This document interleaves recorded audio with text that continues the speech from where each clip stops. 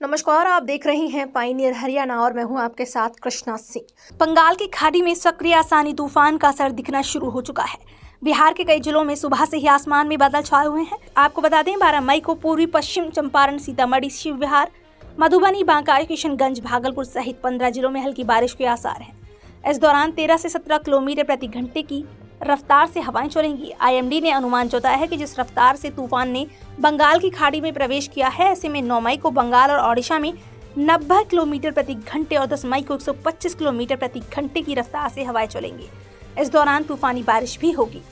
Odisha relief commissioner P के जैना ने बताया कि राज्य के चार पोर्ट पाद्वीप गोपालपुर, धमरा और पुरी को डेंजर जोन में घोषित किया गया है। पश्चिम बंगाल में तूफ़ान के खतरे को देखते हुए मुख्यमंत्री ममता बनर्जी ने अपने सभी कार्यक्रम रद्द कर दिए हैं। चक्रवाती तूफ़ान आसानी का असर ओडिशा के अलावा बिहार, झारखंड, पश्चिम बंगाल, सिक्किम, असम आंध्र प्रदेश समेत कई राज्यों में देखने को मिल सकता है।